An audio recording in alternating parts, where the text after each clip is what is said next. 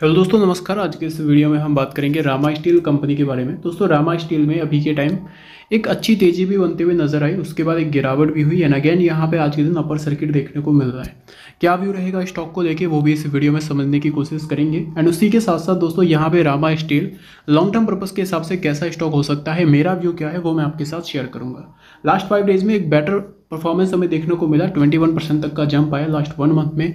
40 percent तक की तेज़ी हमें देखने को मिली, जो कि स्टॉक लास्ट काफ़ी टाइम से रुका हुआ था। अगर मैं वन ईयर की बात करूँ तो स्टॉक ऊपर के लेवल से गिरावट दिया। काफ़ी टाइम से हमें रुकते हुए नज़र आया बट उसमें एक न्यूज़ देखने को मिली। जॉइंट वेंचर होते हुए नज़र आया। कंपनी डिफेंस में एंट्री ले लिए। कंपनी ने रिनेबल एनर्जी में एंट्री ले लिए। इस वजह से स्टॉक में एक बेटर परफॉर्मेंस हमें देखने को मिला। मैक्सिमम अगर मैं आपको नंबर बताऊँ तो स्टॉक में 2021 के बाद एक अच्छा खासा तेज़ी बना। उसके बाद एक काफ़ी टाइम से स्टॉक कंसोलिडेट किया। 2000 मिड 2023 के बाद स्टॉक ऑलमोस्ट अभी के टाइम कंसोलिडेट ही कर रहा था एंड गिर ही रहा था। पर जैसे ही न्यूज़ आई स्टॉक रॉकेट बनते हुए नज़र आ गया। आगे के लिए क्या व्यू रहेगा इस स्टॉक को लेके, इस कंपनी को लेके वो इस वीडियो में समझेंगे एंड उसी के साथ साथ यहाँ पर ये तेज़ी कहाँ तक जा सकती है, वो भी जानने की कोशिश करेंगे। तो सबसे पहले दोस्तों, अगर मैं आज की बात करूँ स्टॉक आपका ओपन होता है चौदह रुपये छत्तीस पैसे, पंद्रह रुपये अड़तालीस पैसे का हाई लगा था जो कि अपर सर्किट रेंज है। एंड वही अगर मैं बात करूँ तो स्टॉक अभी के टाइम ए लिस्ट वन में आ चुका है। तो मेरे हिसाब से कहीं ना कहीं ये वॉल्टिलिटी थोड़ी सी कम हो सकती है, क्योंकि स्टॉक ए लिस्ट वन में हमें देखने को मिल रहा है।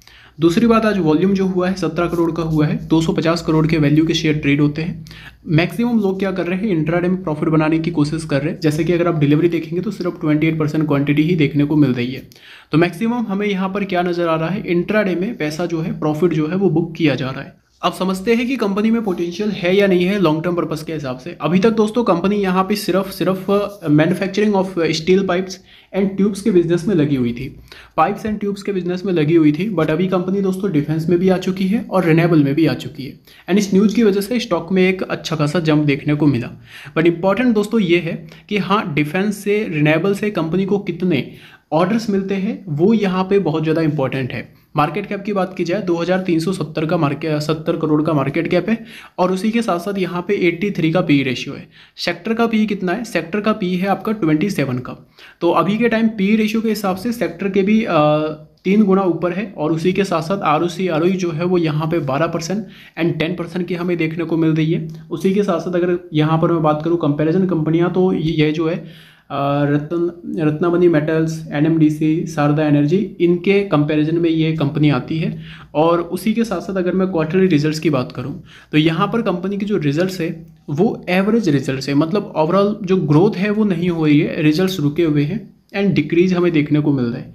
जैसे कि अगर आप सेल्स ग्रोथ देखेंगे तो लास्ट फोर क्वार्टर्स में हमें यहाँ पर कंपनी के जो रिजल्ट्स है, वो ईयर ऑन ईयर ड्रॉप होते हुए देखने को मिले। तो रही बात दोस्तों लॉन्ग टर्म की लॉन्ग टर्म में किसी के ऊपर डायरेक्टली हम निवेश नहीं कर सकते कि भाई कंपनी डिफेंस में रिनेबल में जा रही है तो हम डायरेक्टली इन्वेस्टमेंट नहीं कर सकते। हमें रिजल्ट्स के अनुसार दोस्तों इन्वेस्टमेंट करना होता है। किसी भी कंपनी में फ्यूचर ग्रोथ के हिसाब से जैसे जैसे कंपनीज़ के रिज़ल्ट अच्छे आते हैं, उस हिसाब से हम यहाँ पे निवेश कर सकते हैं। कंपनी में अभी के टाइम यहाँ पे वेट करना चाहिए क्वार्टर टू के रिजल्ट्स का एंड वो रिजल्ट्स देख के उसके बाद हमें यहाँ पे डिसीज़न लेना चाहिए। अभी के टाइम यहाँ पे डिफेंस में रिनेबल में गई है तो फिर मार्जिन में भी चेंजेस आएगा। तो एक रिजल्ट्स का हमें नॉर्मली वेट करना चाहिए। रिज़ल्ट उस हिसाब से आते हैं, फिर वहाँ पर हमें डिसीज़न लेना चाहिए कि हाँ क्या क्या कुछ हो रहा है। उसी के साथ साथ अभी के टाइम अच्छी बात यह है कि कंपनी का डेट जो है वो कम किया है कंपनी ने। कंपनी ओवरऑल प्रॉफिटेबल है। ये सबसे बेटर चीज़ है। अगर आप यहाँ पे चेक करेंगे तो मार्च 2023 में एक हाईएस्ट रेवेन्यू किया था कंपनी ने 1300 करोड़ का। 2024 में 1000 करोड़ का रेवेन्यू एंड कंपनी ओवरऑल एक अच्छे प्रॉफिट में है। ये हमारे लिए बेटर है। कंपनी का जो प्रॉफिट है वो एक हाइएस्ट लेवल पर हमें देखने को मिल रहा है।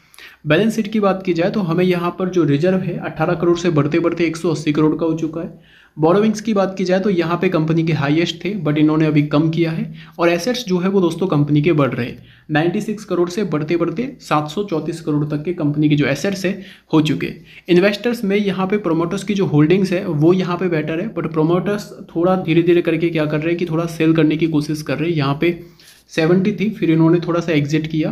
तो प्रोमोटर्स की होल्डिंग ठीक है बट ये धीरे धीरे करके थोड़ा बहुत डिक्रीज कर रहे हैं। सो गज तो रामा स्टील में मेरा क्या व्यू है? मेरा लॉन्ग टर्म पर्पज के हिसाब से व्यू ये है कि जैसे जैसे कंपनी के रिज़ल्ट अच्छे आएँगे वैसे वैसे यहाँ पे मैं इन्वेस्टमेंट करने की कोशिश करूँगा।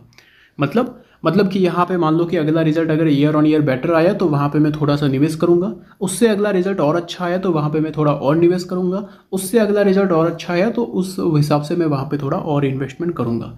इस हिसाब से मेरा जो इन्वेस्टमेंट है, रामा स्टील में रहने वाला है। अब यहाँ पे बात कर लेते हैं शॉर्ट टर्म पर्पज़ के हिसाब से। लॉन्ग टर्म का तो मैंने आपके साथ व्यू शेयर किया ही है। शॉर्ट टर्म की अगर मैं बात करूँ तो रिसेंटली हमें एक बहुत बड़ा कंसोलिडेशन देखने को मिला 2023 से। ऑलमोस्ट कंपनी को यहाँ पे डेढ़ साल होने आया है। डेढ़ साल कंपनी कंसोलिडेट किया। अचानक न्यूजाई स्टॉक भागा। लेवल इंपॉर्टेंट हमारे लिए कौन सा है वो मैं आपको दिखा देता हूँ। स्टॉक के लिए जो इंपॉर्टेंट रजिस्टेंट है, जो रिसेंटली कंपनी ने यहाँ पे बनाया था 2024 के शुरुआत में तो सोलह रुपये अस्सी पैसे का एक इंपॉर्टेंट रजिस्टेंट है। अगर ये स्टॉक सोलह रुपये अस्सी पैसे के लेवल को ब्रेक करने की कोशिश कर लेता है, कामयाब हो जाता है तो नेक्स्ट यहाँ पे ट्वेंटी रुपीज़ तक के टारगेट से स्टॉक हमें दिखा सकता है। सोलह रुपये अस्सी पैसे के लेवल्स को अगर ब्रेकआउट दे देता है तो ट्वेंटी रुपीज़ तक के लेवल्स दिख सकते हैं। क्या ये ट्वेंटी रुपीज़ के लेवल्स तक नॉन स्टॉप जा सकता है? तो अगर सोलह अस्सी का लेवल ब्रेक होता है तो ये ट्वेंटी के लेवल्स नॉन स्टॉप जा सकता है। ये मेरा शॉर्ट टर्म व्यू है। बाकी दोस्तों, यहाँ पर इंपॉर्टेंट है कि अपना स्टॉप लॉस कहाँ पर रहेगा।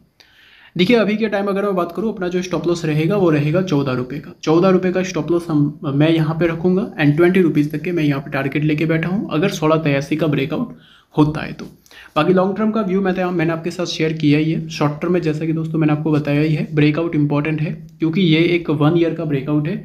लेवल टूटता है तो एक अच्छे मूवमेंट्स देखने को मिल सकते हैं। बाकी ये वीडियो एजुकेशन व्यू के हिसाब से था। बाई एंड सेल करने से पहले अपने फाइनेंशियल एडवाइजर से ज़रूर कंसल्ट कीजिएगा। Thank you